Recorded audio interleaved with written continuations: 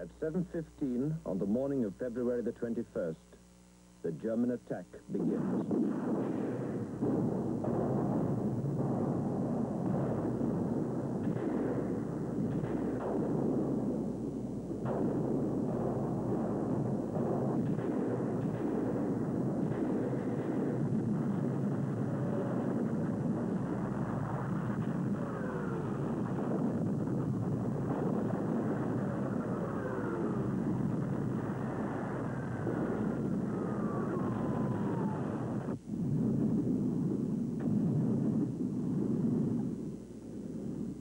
After the bombardment, German troops equipped with a newly invented flamethrower infiltrate the area.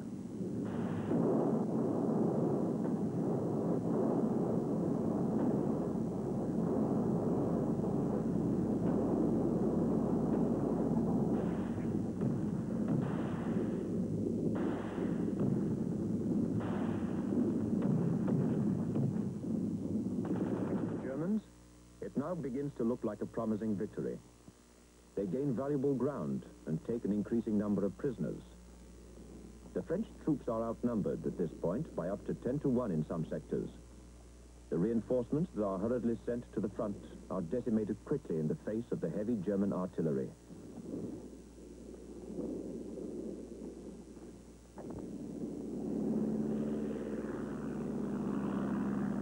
The first real aerial battles in history are won by the Germans as they shoot down all the observation balloons and French aircraft.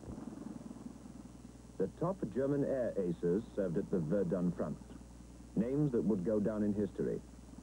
The young Hermann Goering, for one.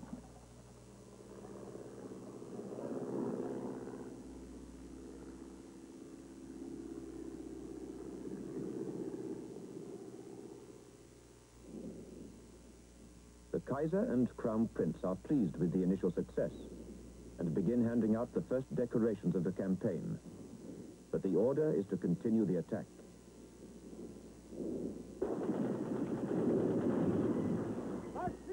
By the 25th of February, the Germans have reached the fort of Douaumont, one of several surrounding Verdun. Because on both sides, however, as the weeks drag on.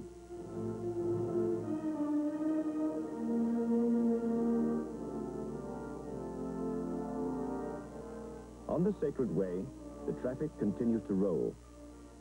By the end of the battle, every division in the French army will have traveled it twice on the average.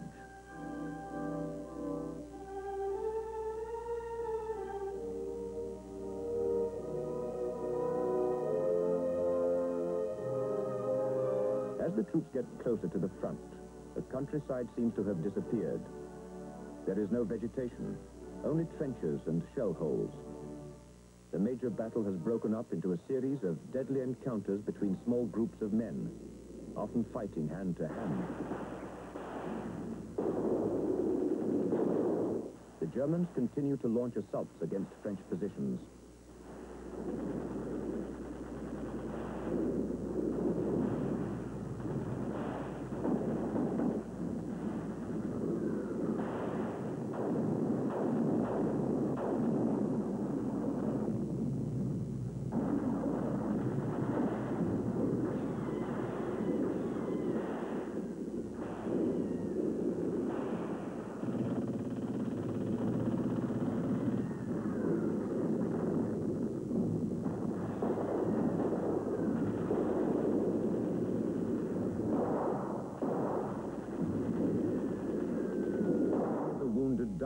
Before their stretch.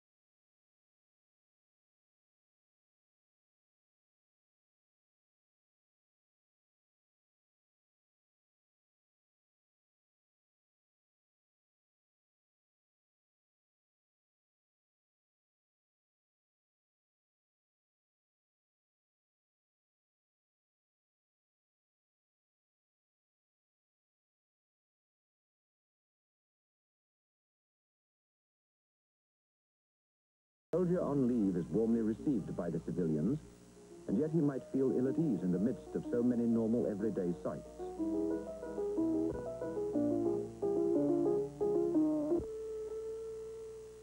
It is a strange world to the soldiers on leave.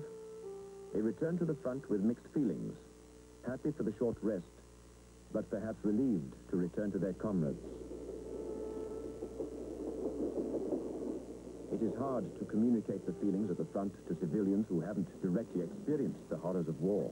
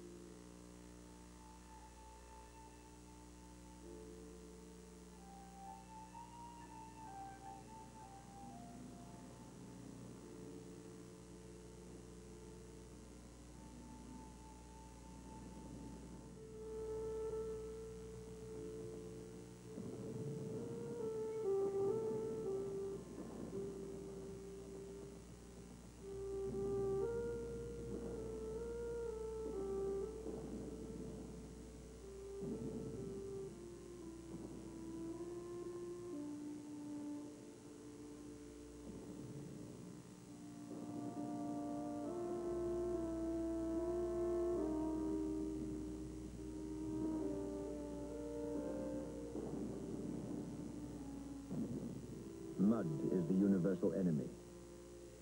Thousands of soldiers on both sides disappeared in the shell holes of the battlefield where they could not be found or helped.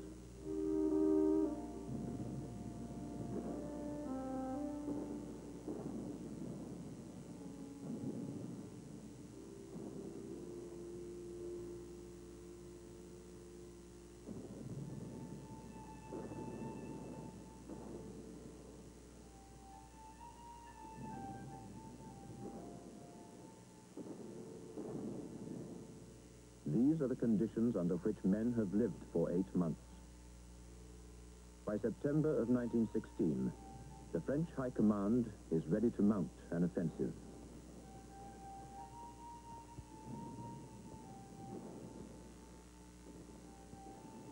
In their original assault.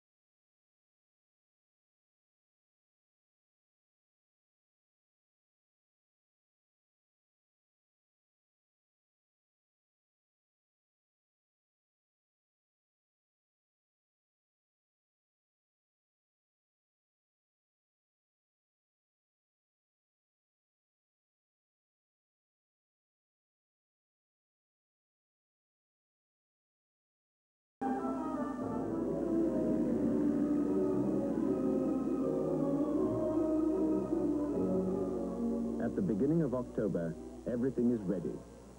General Mangin inspects his regiments with President Poincaré.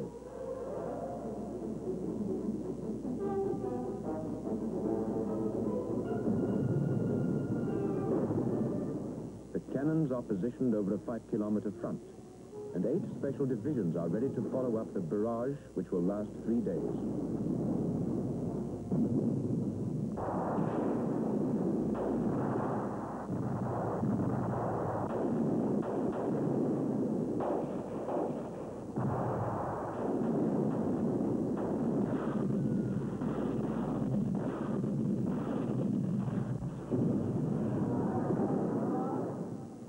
October the 24th, the French army leaves its trenches and advances in strength for the first time.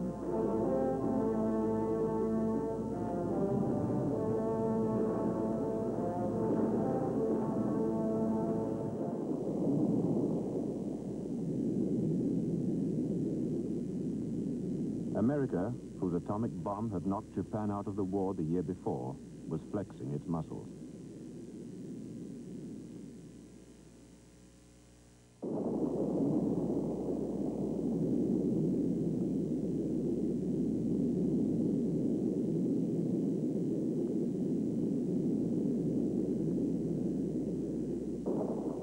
The inhabitants of the world watched in horror. But in the Cold War, any advantage had to be exploited. Were closed. General Clay, the American governor of Berlin, asked President Truman to supply the city by air. It was a tremendous gamble. Berlin had two and a half million inhabitants. But because of the Cold War battle in which they were embroiled, the Americans had to try to save Berlin.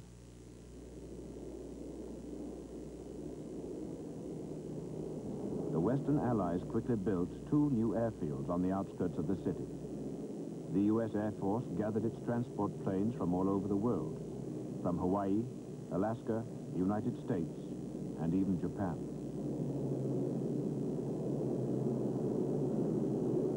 Within a month, the American DC-4s were making over a thousand flights a day into Berlin. A landing every minute, day and night, in every kind of weather. Very nice. You know, you're starting to go a little bit above your glide path, 10, 15, 20 feet above your glide path. You'll have to increase your rate of descent. Approaching the graveyard now. You're over the graveyard. Approaching the end. Over a period of 11 months, American aircraft carried two and a half million tons into the beleaguered city. Food and products of every kind. Employed to intimidate the enemy. The Western Allies and the Russians were continually deploying their forces to prove that they were ready for war.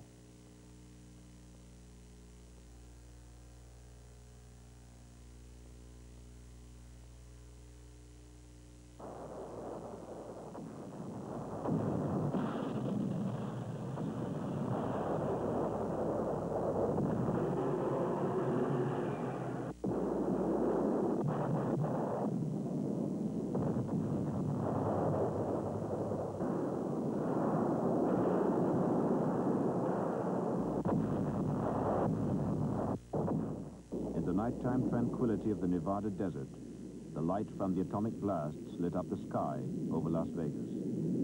The world was on the verge of war, and it would be a struggle with the potential to destroy the planet.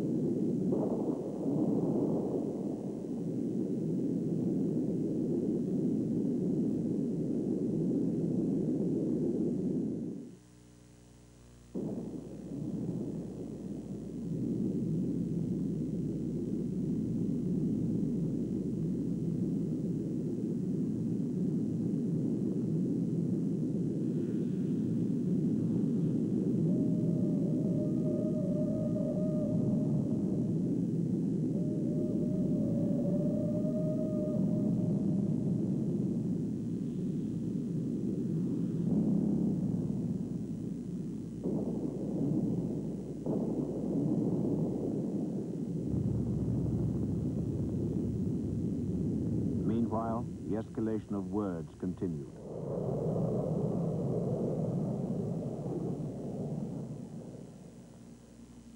Atomic submarines would soon join them and patrol the oceans.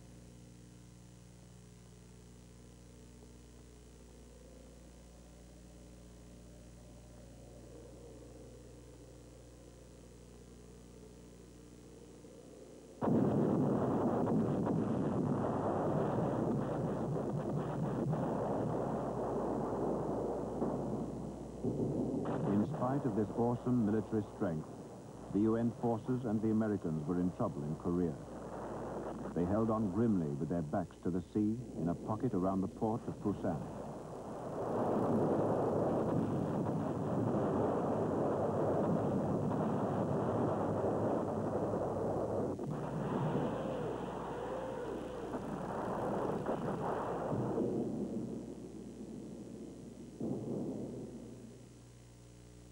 They held on for two months until reinforcements began to arrive.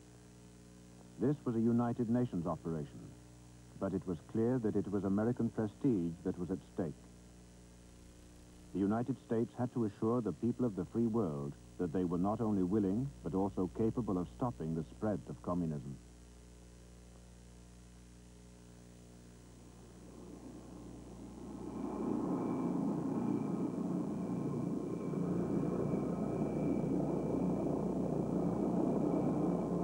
The commander-in-chief, General MacArthur, had a reputation as a bold strategist, and he gave much thought to a devastating counter-offensive that would relieve the American position. He decided to take the North Koreans by surprise in an operation designed to cut their supply lines.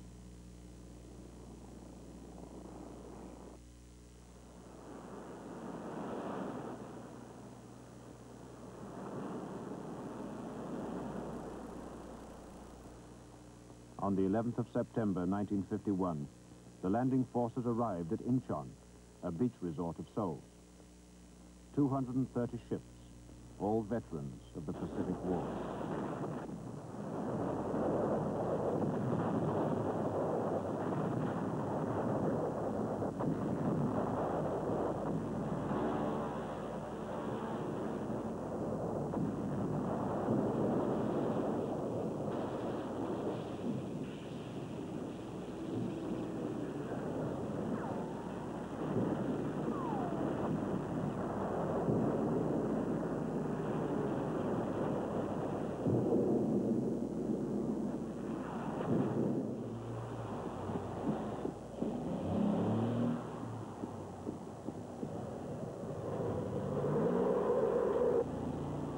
World were well founded. November 1952. This is the atoll of Eniwetok. New tests were being conducted here.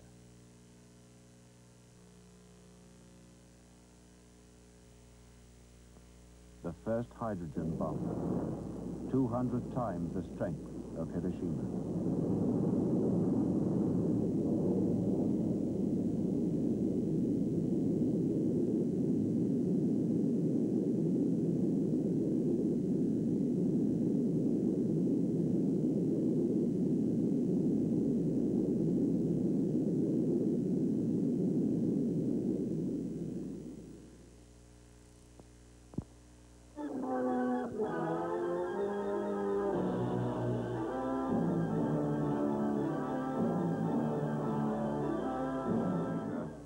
Canada continued searching the sky.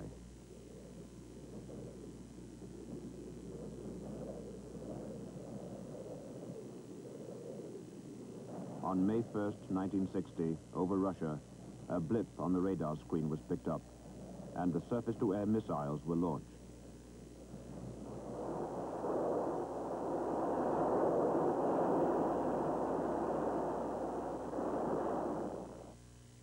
It was an American U-2 spy plane and by in a state of alert.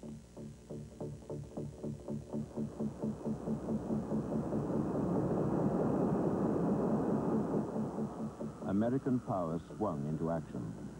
Thousands of soldiers, the Strategic Air Command and its B-52s, the atomic submarines of the U.S. Navy.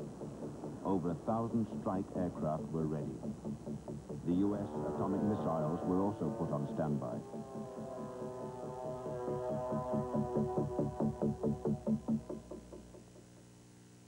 Tuesday, October 16th. In the late afternoon, Robert McNamara held a conference at the Pentagon with the chiefs of staff. He appointed Admiral Anderson to take charge of Operation X. American aircraft reported that 25 Soviet ships were steaming on a course for Cuba. War seemed inevitable. It was too late for either side to back down and save face. At 7.50 on the 25th of October 1962, an American destroyer intercepted a Russian freighter. It signaled the Soviet ship to turn about. For two and a half hours, the two vessels sailed on. For two and a half hours, the world was on the verge of war.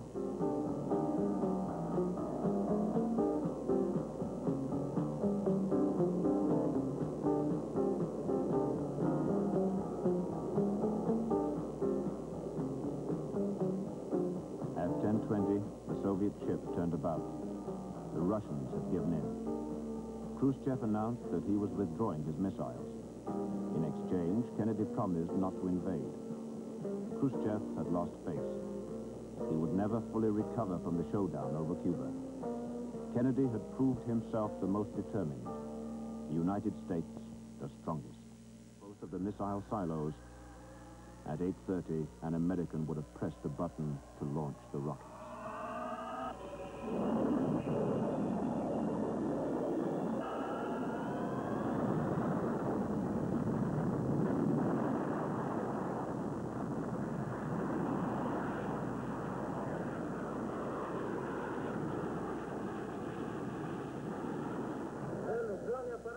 1931, a Russian would have pressed a similar button.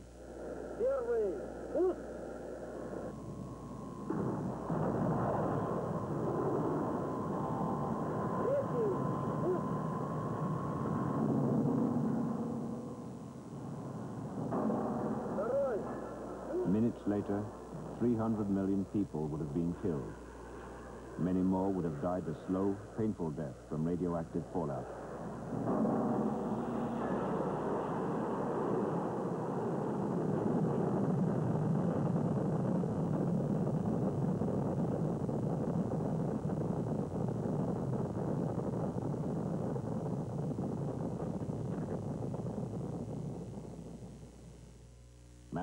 Now understood what the balance of terror meant. Brinksmanship. Peace through fear and intimidation. The forces of destruction on both sides were so great that neither superpower could allow war to break out. They could, however, continually test each other's nerve and resolve. The Soviets had an immense army, three and a half million men, 35,000 tanks, 1,500 intercontinental missiles. They were also rumored to have the capability of putting a satellite bomb in orbit around the Earth.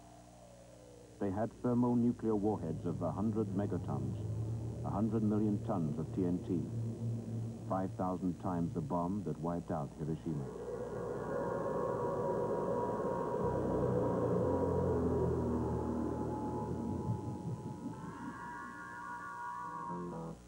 In February 1961, aboard camouflaged sampans hidden in the South Vietnamese jungle, the National Liberation Front was born. By the end of 1961, the jungle rebels, known as the Viet Cong, had turned vast areas in the south into zones where the government forces could not maintain control.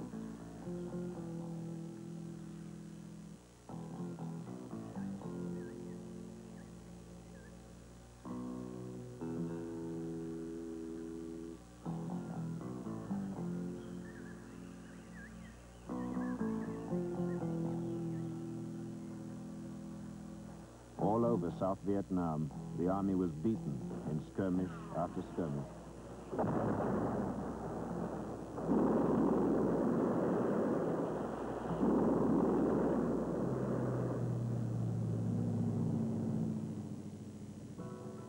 The Americans grew worried.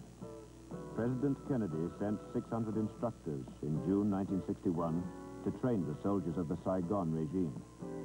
The U.S. was also troubled by the corruption of the Diem government. With $40 million, the conditions were unlike anything these soldiers had ever encountered before. Their enemy wore no uniform and were masters of guerrilla warfare. Without clear objectives, it was hard for the Americans to know if they were winning or losing.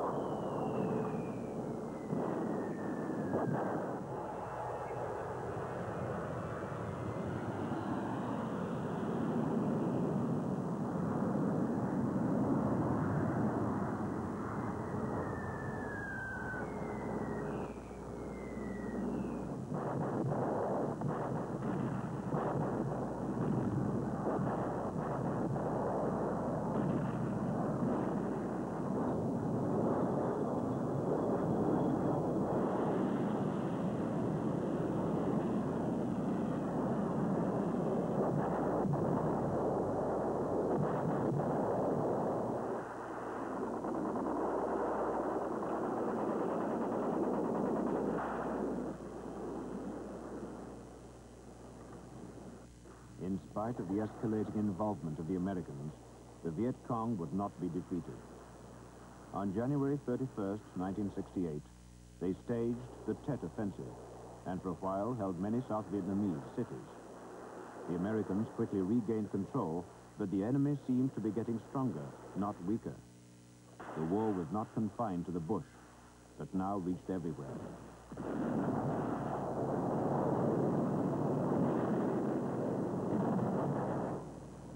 Cholon, the Chinese court of Saigon, was totally destroyed by napalm.